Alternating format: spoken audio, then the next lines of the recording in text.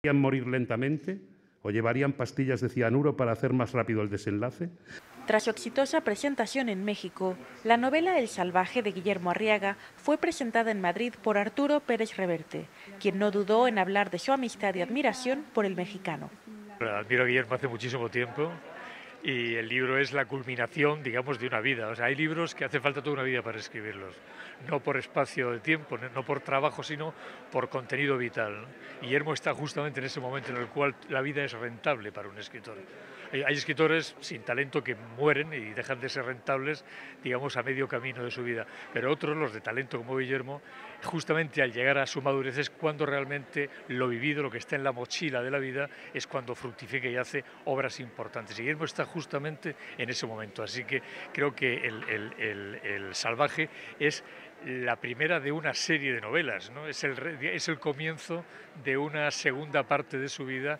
Ella intentó saltar primero pero no calculó bien la distancia y se precipitó al vacío. Arturo Pérez Reverte y Guillermo Arriaga abordaron en una amena charla algunos de los temas incluidos en la novela, como la relación entre la vida y la muerte, la venganza o el amor. Me gusta tu falta de complejos, por eso somos amigos, entre otras cosas. ¿no? Quizá por ser mexicano eh, se te perdonan cosas que a un español no se, no se le perdonarían. ¿Cómo cuál? pues eh, estas cosas de matar, de tal, la violencia es mala, Pascual, ese tipo de cosas. ¿no? Eh, tú tienes la ventaja de ser de, que, de, tus películas y de que eres extranjero. Si fueras español te iban a abrear los animalistas, las ultrafeministas, los ultracatólicos, los, los ultra todos, ¿no? Eso no, no, no, no, pero en México también tenemos nuestros grupos que, que, que, te digo, que me amenazaron. Sí, pero en México la violencia es más, más, más o sea, es, es más cotidiana, es más, está más asumida. Aquí parece que es algo que, que está fuera de lo que es la vida real, ¿no? ¿No?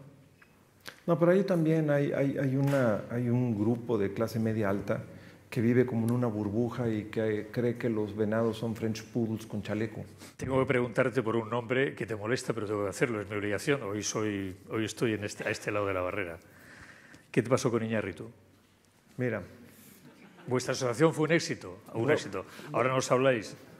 Puedes ahora hablar o callar para siempre, pero bueno, tienes, la, tienes el momento. Voy a contar algo y esto es algo que no he hablado de esto en público. Nunca. Hay una tribu africana que considera que tenemos un alma ligera y creo que esto es mucho más interesante que lo que pasó con Iñárritu. Puede sonar cursi hablar del amor.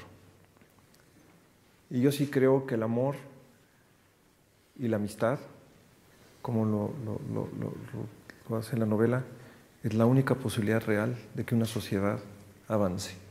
Y que escondieron a... Para Canal 22 desde Madrid, España, Francina Islas, corresponsal. Deja de dar vueltas